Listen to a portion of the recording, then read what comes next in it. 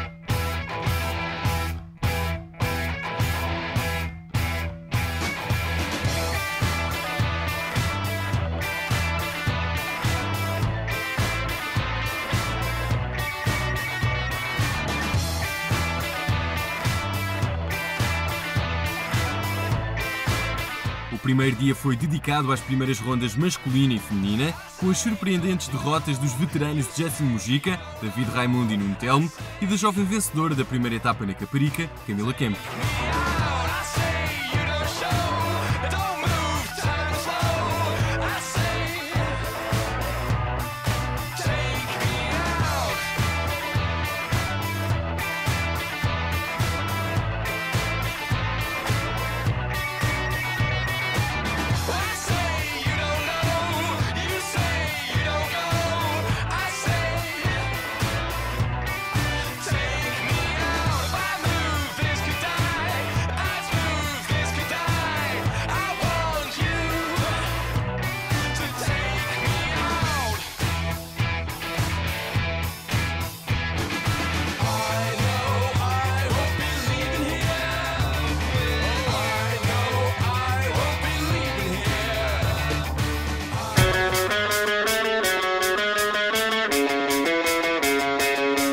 Segundo dia contou com ondas mais desafiantes que o primeiro e também trouxe surpresas graças à derrota de Frederico Moraes, líder do ranking da Liga Mosh e vencedor da etapa anterior no Porto.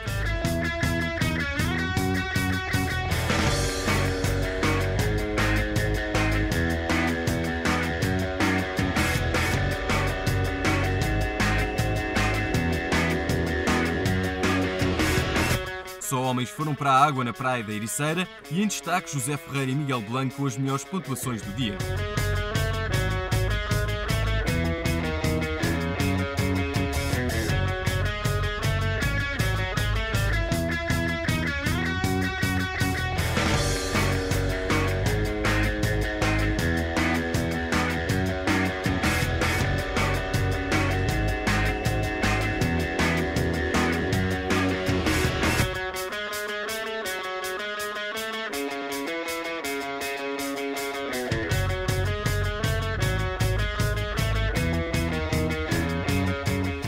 Guichardo e Tomás Fernandes também se mostraram em boa forma.